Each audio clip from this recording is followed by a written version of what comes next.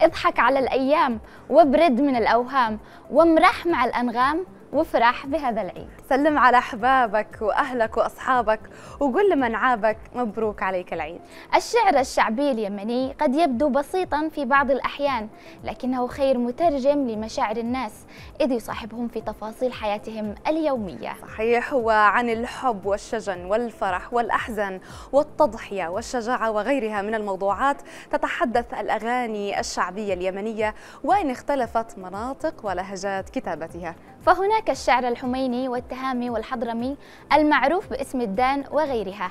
وللحديث أكثر عن الشعر الشعبي وارتباطه بالجمهور اليمني نستضيف الشاعر الشعبي الغنائي محمد لطف النقيب في صباح بلقيس اليوم. صباح الخير محمد وعيدك صباح مبارك. النور وديان صباح النور سمية. كل سنة وأنت طيب. وأنتم طيبين إن شاء الله والجمهور إن شاء الله بألف خير وصحة وعافية. يعني يعني إحنا سعداء اليوم نستفتح يعني هذا الصباح الجديد فعلاً. وهذا العيد بالأغاني الشعبية.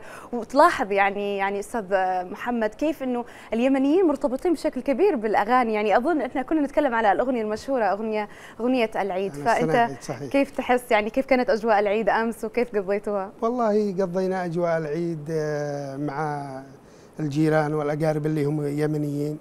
تجمعنا حاولنا أن إحنا نخلق جو آه، فرائحي لنا في الغربة هذه لأنه إحنا هنا بعيدين عن أهالينا. وما لناش إلا بعض يعني إحنا والزملاء والأصحاب والأقارب اللي هم متواجدين في إسطنبول. فاجتمعنا وكانت لمة حلوة وخلاص وكمل العيد لا بالعكس اليوم أنت يا محمد نقلت لنا أجواء العيد بالزي الشعبي اليمني هذا يسعدكم الله يسعدكم هذا آمين. جزء بسيط من من حنيننا إلى الوطن فعلا طبعا محمد أنا سعيدة أنت زميل مقاعد الدراسة في كلية الإعلام صحيح. واليوم أشوفك في هذا المكان إن شاء الله صحيح. ومنها للأعلى بدايه يسعدك. محمد حدثنا عن الشعر الشعبي في اليمن الشعر الشعبي بداية هو آه، جزء بسيط أو فرع من فروع الأدب الشعبي اليمني اللي هو عبارة عن آه، الفلكلور أو التراث.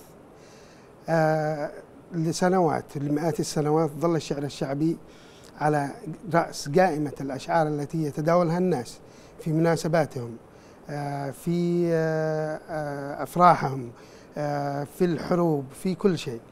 فالشعر الشعبي في اليمن آه، هو الأكثر قربا إلى الجمهور من الفصحى اللي يسمى شعر النخبة. أيوه. يعني آه، آه، الجمهور يعني مثلا المستمع أو القارئ لا يضطر أنه مثلا يصير يدور معنا كلمة معينة أو شيء مثل الفصحى. شعر شعبي مأخوذ من الكلام المحكي من اللهجة الشعبية الدارجة. آه، إيش اللي يميزه يعني عن الشعر عن باقي الأشعار؟ الشعر الشعبي؟ الشعر الشعبي يميز إنه بلهجة الناس يحكى بكل أنواعه مثل ما ذكرته في المقدمة في شعر حميني اللي هو الصنعاني وفي شعر حضرمي اللي هو الدان والشعر التهامي والشعر هذا يميز الشعر الشعبي إنه بلهجة كل منطقة وجد فيها أو خلق فيها. ولكن أكثر انتشارا الشعر الش- الصنعاني اللي هو الشعر الغنائي الصنعاني الذي يسمى الشعر الحميني. طبعا لا يعرف تاريخ الشعر الحميني ولا متى ظهر ولا سبب التسمية هناك شعراء اجتهدوا ولكن آه، كل اجتهاداتهم ما وصلت إلى تعريف حقيقي أو تعريف بالاسم أو تاريخ الظهور. على سيرة الشعر الشعبي يا محمد وكيف هو قريب من الناس أتذكر قصائد وأغاني أبو نصار كيف كانت خفيفة ويتغنى فيها الكبار صحيح. والصغار والشيبات صحيح. يعني كانت مفهومة للجميع يعني صحيح آه، طيب محمد آه، كيف أثرت القصائد الشعبية على الفن في اليمن أو كيف أثرت؟ نعم نقدر نقول أنه لولا القصيدة الشعبية لما وجد الفن أساسا. ولما وجد ال- الفن اليمني من من أصوله. يعني من قديم الزمان من مئات السنين والشعر الشعبي بي آه، بيرفد الفن اليمني سواء كان عبارة عن الأغاني. أو آه، الزوامل بمفهومها القديم. أو التواشيح أو كل شيء في اليمن يتعلق بالشعر الشعبي. الشعر الشعبي آه، أنواع كثيرة. مثلا كتب الشعراء لموسم القمح كتب الشعراء آه، لموسم البن كتب الشعراء. اللي هذا الشعر الشعبي كان رافد أساسي للفن اليمني. فعلا. كان حتى آه، يتعالموا بال- بالمواسم فيه ويعني يمدهم بالطاقة في المزارع بالمهاجل الشعبية فعلا. هو صحيح. جزء من ال- ال- الأرض آه، والإنسان اليمني صحيح. والبالة وغيرها والملالة الشعبية وال كل هذه تندرج تحت الشعر الشعبي. طيب إيش رأيكم نروح يعني نشوف مقطع ونرجع نواصل بقية الحديث معك أستاذ محمد؟ طبعا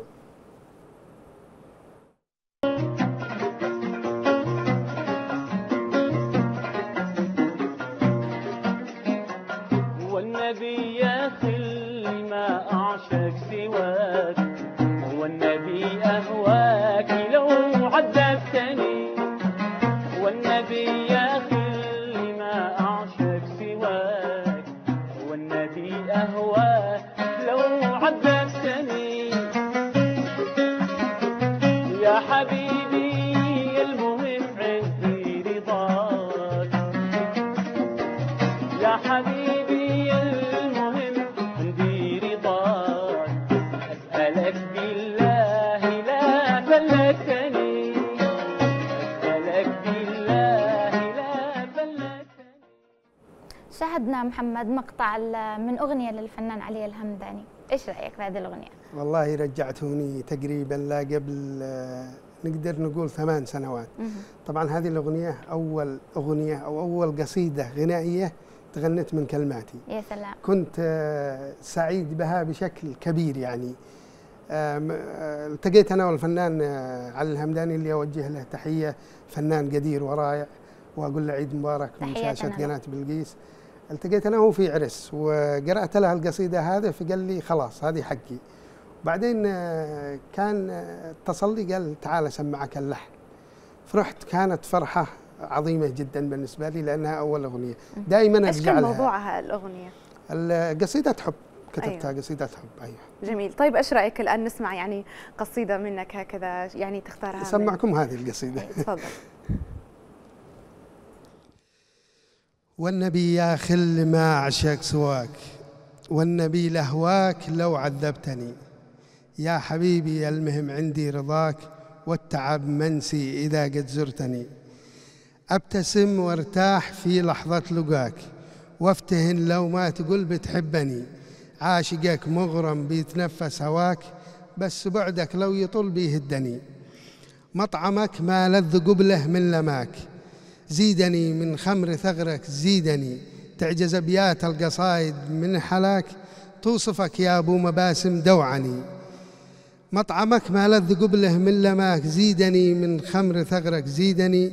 تعجز أبيات القصايد من حلاك توصفك يا أبو مباسم دوعني. نفسي اقضي كل أوقاتي معاك. كل ما أشوفك أقول لك ضمني. يا حياتي كل ما أملك فداك وأسألك بالله لا فلتني. وأسألك بالله لا فلتني. لسانك وإن شاء الله ما يجيبش ربي حد يعني هذا ال- البعد أو الفراق وما يفل... ما تفلتش حد وأحبابك يا محمد. عافى أبدانكم الله يحفظكم طيب أنت. مش يعني آه، اللي أنت تجربه دائما هو الشعر الصنعاني. هل جربت مثلا تخوض تجربة يعني تروح للهجات ثانية ولا الموضوع فيه صعوبة؟ والله الأمانة بالنسبة لي أنا آه، كشخص آه، عشت وتربيت وفي صنعاء صعب شوية. الشعراء اللي كتبوا قصائد آه، تهامية أو قصائد آه، كانوا عايشين في هذه المناطق. أنا ما حاولت للامانه لأنه ما أنا ملم بال ودائما ما يعجبنيش إن أنا أخوض في شيء ما أقدرش آه، إن أنا أوفيه حقه. طيب احكي لنا عن أبرز أعمالك. إيش الأغاني اللي يعني شعراء أو فنانين غنوها؟ آه، غنى تغنت من كلماتي قصائد كثيرة. غنى لي الفنان حمود السمة غنى لي شرف القاعدي غنى لي الفنان يحيى الجبل. غنى لي سامي الخزاعي برضو أغنية آه، كثير من الفنانين آه، تغنوا من كلماتي. تحياتنا لكل الفنانين عيدهم الذي مبارك كل عام وهم بخير إن شاء الله طيب آه، دائما لما يسأل الشاعر آه، القصائد الذي يكتبها هل هي نابعة من تجربة ذاتية أو لا يختلف الأشخاص يقولوا هاجس وفي ناس يقولوا لا هذه تجربة شخصية ماذا عنك محمد؟ والله شوفوا أحيانا يعيش الشاعر ما كتب. مهم. وأحيانا يكتب ما يعيش. وأحيانا لا هذه ولا هذه. يا إجابة إحنا- خطيرة هذه. إحنا آه، كشعراء يعني مثلا أوقات نكتب آه، عن موقف معين.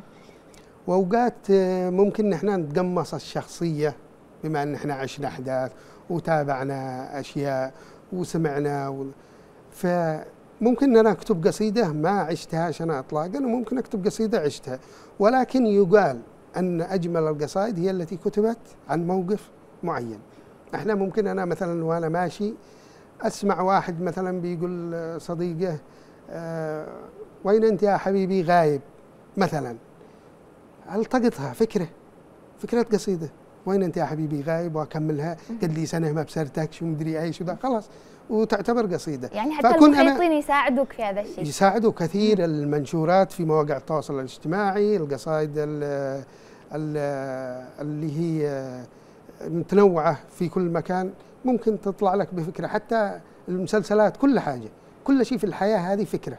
فكره قصيدة فعلا والله ما. أنه الشاعر يصيغها فقط. والإنسان يعني ابن بيئته في الأخير صحيح هذا طيب. بالنسبة للقصيدة الشعبية أنت تظن أنه ما تزال محافظة على مكانتها في المجتمع؟ نعم في المجتمع اليمني وفي الخارج سواء منذ القدم أو الآن أيوة آه في آه شعراء شباب في الوقت الحالي يعني إحنا طبعا ما نتكلمش على العمالقة اللي كتبوا الشعر قديما أو في العقد الماضي في شعراء شباب حاليا الآن كتبوا لفنانين في الخارج خليجيين في أغاني انتشرت كثيرة كلماتها يمنية لكن هي ليست شعبية يعني مش شعبية كثير ما يفهمهاش.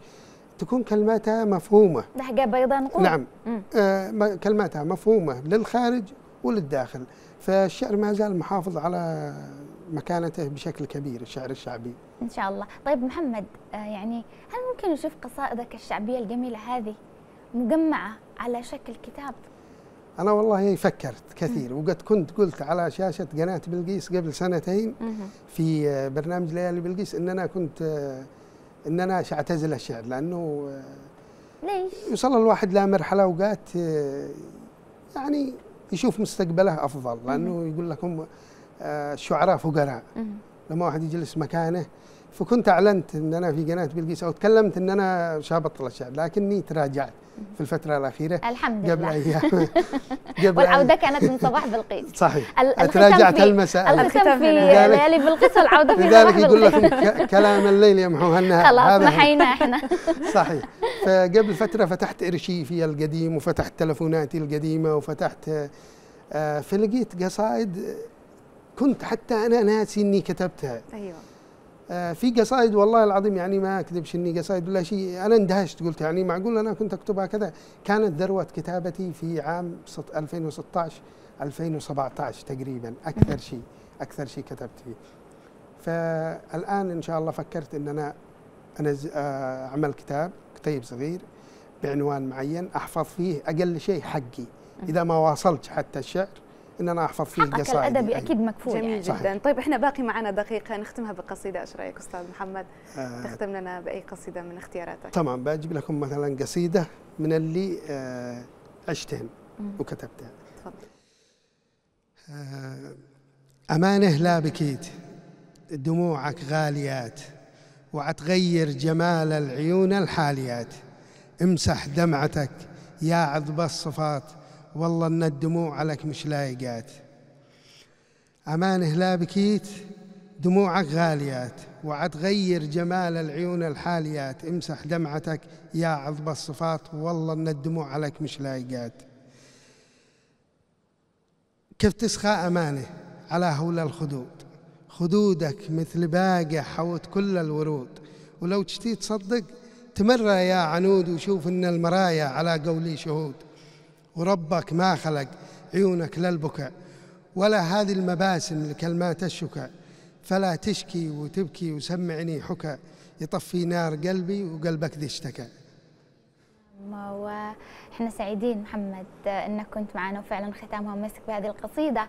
ونورتنا في صباح بالقيس باول حلقاتنا لعيد الفطر المبارك وتحياتنا لك ولأسرتك الكريمة. أنا نجلاء سعيد. وجبران يا رب الله يحفظهم. وكل سنة وأنتم طيبين. أنا سعيد وأنتم طيبين إن شاء الله وشكرا لكم. شكرا. لك.